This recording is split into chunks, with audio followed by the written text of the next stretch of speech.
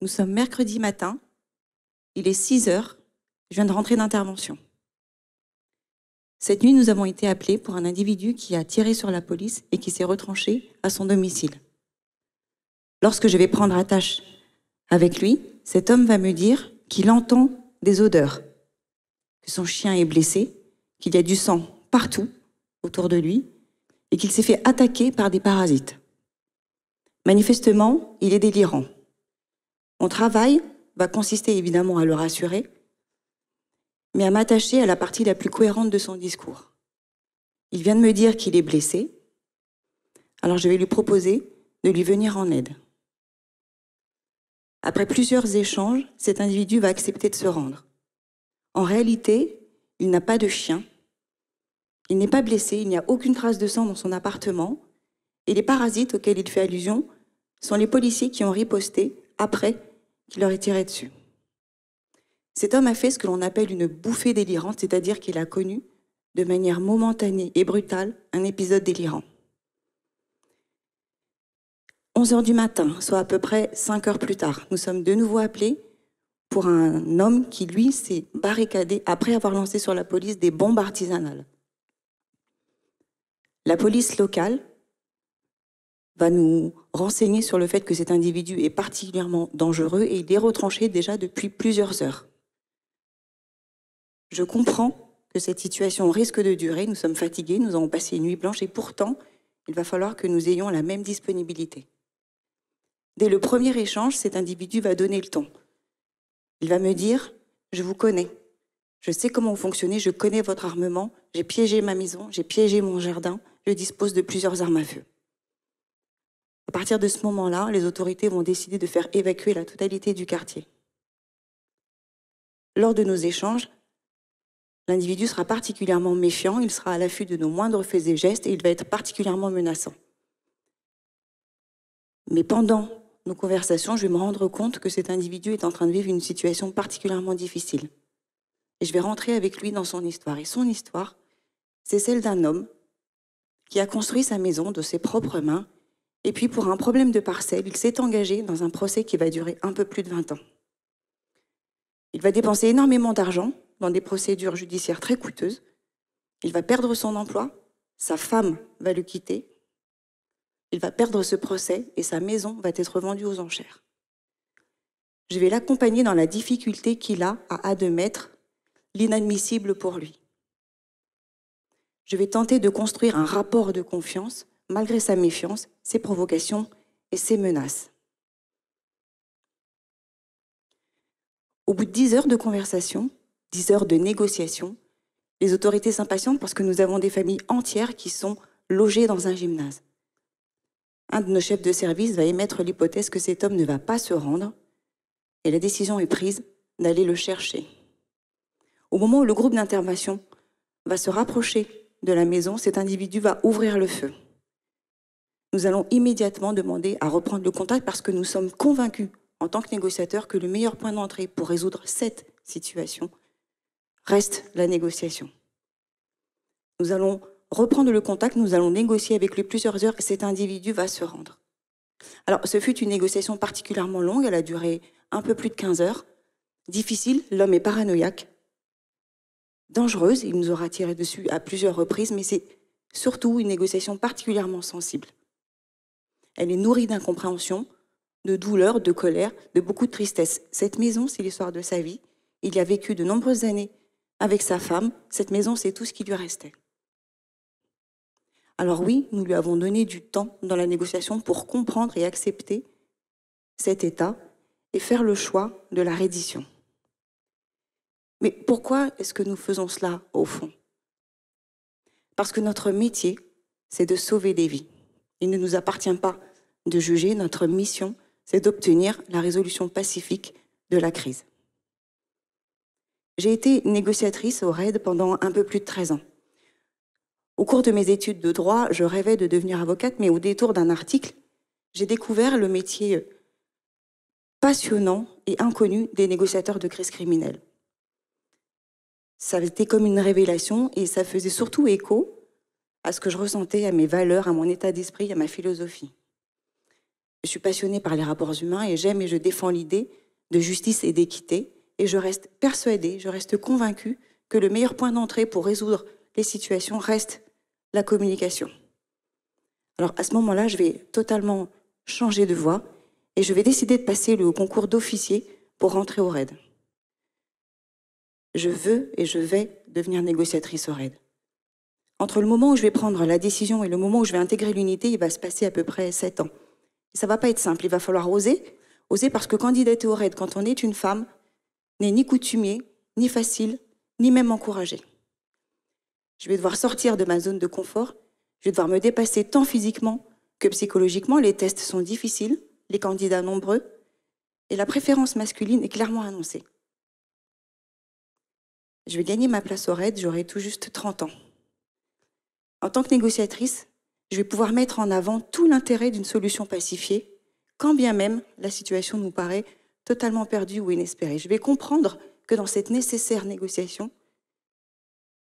il nous faut cheminer avec notre interlocuteur, il nous faut comprendre notre interlocuteur. Je vais comprendre que pour obtenir ce qui est juste, je vais devoir collaborer et je vais devoir, je vais avoir besoin de lui pour y arriver. Je vais comprendre que pour réussir, il va, il va nous falloir nous entendre. Alors bien évidemment, ça ne va pas forcément être toujours très simple. Je vais devoir aller chercher au-delà des apparences. Je vais devoir aller chercher l'humain au-delà de ses actions. Alors non, ça n'a pas toujours été simple de négocier avec l'impensable. L'impensable, c'est ce père de famille qui va tuer ses enfants parce que sa femme a demandé le divorce. Non, ça n'a pas toujours été compris non plus de négocier ou de laisser s'exprimer ce terroriste qui vient de tuer un couple de policiers qui retient en otage petit garçon d'à peine 4 ans.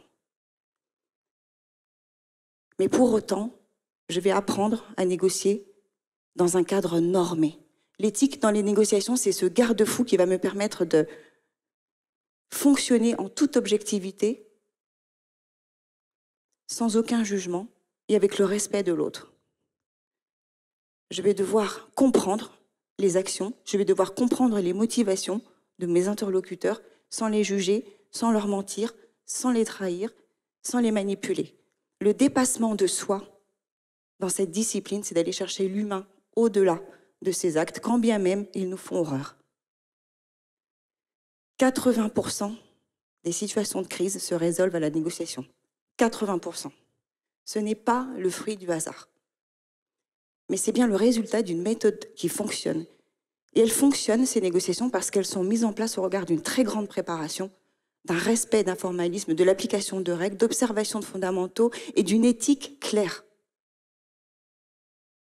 Je vous parle des négociations de crise criminelle parce que ça a été mon métier pendant toutes ces années, mais quand on y réfléchit, il s'agit exactement de la, même de la même chose dans toutes sortes de négociations. Je pense notamment aux négociations commerciales, aux négociations syndicales, aux négociations sociales.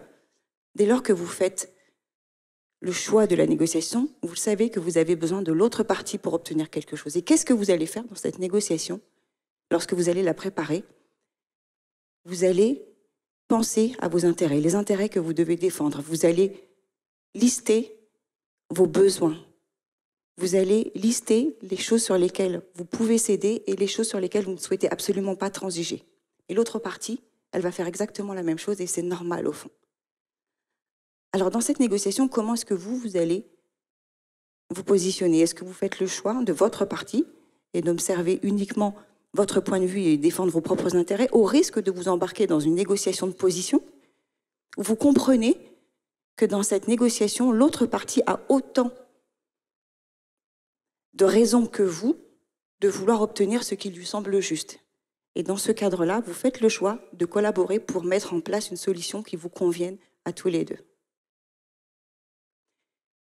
J'ai rejoint le secteur privé il y a à peu près quatre ans. Juste avant ça, je vais vous parler d'une autre affaire qui me revient à l'esprit. Lorsque, il y a quelques années, nous avons été appelés pour un, forcené qui s'était retranché après s'être disputé avec sa femme. Lorsque l'on arrive sur place, la police locale nous met à disposition les témoins et les voisins. Et lorsque nous prenons euh, contact avec, euh, avec ces témoins, ils vont tous être d'accord pour nous dire que l'homme qui vient de se retrancher est une personne absolument odieuse, colérique, violente, quelqu'un qui dit quasiment jamais bonjour, qu'ils ne voient quasiment jamais, mais dont ils entendent très souvent les cris. Lorsque nous allons entendre sa femme, celle-ci va nous dire qu'elle a réussi à s'échapper de l'appartement parce que son mari venait de menacer de la tuer. Alors forcément, quand vous entendez ces informations, vous faites une représentation de l'individu que, vous allez avoir en face de vous, et c'est normal. Sauf qu'en tant que négociateur, nous essayons d'être le plus en ouverture possible, de ne pas juger notre interlocuteur indépendamment de qui il est, indépendamment du contexte. Nous devons être en ouverture. Donc nous allons chercher chez l'autre les informations qui nous manquent pour ne pas prendre le risque de s'enfermer dans un chemin qui ne laisserait aucune place à notre interlocuteur. Ce jour-là, lorsque l'on va prendre contact, effectivement, il va s'avérer qu'il va être exactement comme on nous l'a décrit. Il va nous insulter, il va nous menacer. C'est un homme en colère qui va absolument pas parler à la police, il va raccrocher au téléphone à de nombreuses reprises. Et le négociateur va insister. Et au bout d'un certain temps, cet individu va accepter enfin ce contact.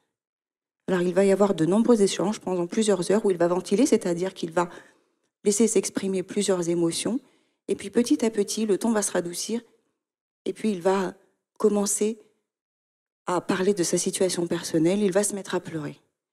En réalité, ce jour-là, nous allons comprendre que la victime n'est pas celle que l'on pense et que le bourreau n'est pas celui qu'on croit. En réalité, la victime de ces violences, c'est cet homme, et ce soir-là, il s'est retranché parce qu'il avait l'intention de se suicider pour échapper à la violence qu'il endurait depuis des années et à la honte qu'il ressentait. Si nous étions passés à côté des fondamentaux de la négociation, être en ouverture, voir les choses d'un œil neuf, aller chercher les informations chez l'individu, comprendre au-delà de ce qui est exprimé, ne pas juger indépendamment du contexte ou de la personne, nous serions passés à côté de cet homme et de sa réalité. Comme je vous le disais, j'ai rejoint le privé il y a à peu près euh, quatre ans. L'une de mes activités consiste à accompagner des collaborateurs, des managers, des dirigeants sur des problématiques de négociation, mais sur des problématiques également de relations interpersonnelles. Lorsque l'on aborde les cas de négociation, c'est assez communément admis aujourd'hui que il faut absolument que l'on arrive à préserver nos relations futures. Alors, nous imaginons et nous, nous mettons en place, nous pensons la négociation de manière globale. Ce que l'on va retenir d'une négociation, c'est pas tant ce que vous avez obtenu, c'est la manière dont vous l'avez obtenu.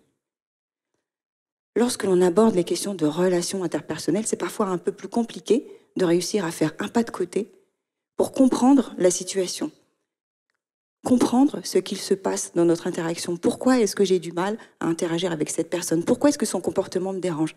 Qu'est-ce que je fais moi en réaction pour arranger ça? Comment moi je peux m'adapter finalement Comment je peux évoluer dans cette relation pour que nous puissions enfin interagir ensemble parce que c'est nécessaire J'ai appris énormément de choses au sein du RAID pendant toutes ces années. Ce que j'ai retenu, c'est que la technique n'est efficace et pertinente que si elle vient servir un état, que si elle vient servir une posture, que si elle vient servir un savoir-être. Dans toutes les négociations, quelles qu'elles soient, ce que je retiens et que je mets en application, c'est le fait d'aborder ces situations de manière neutre et impartiale parce que ça me permet d'être le plus en ouverture possible. Que de savoir gérer mes émotions, ça me permet de me décentrer, ça me permet d'avoir du recul et de ne pas me laisser submerger.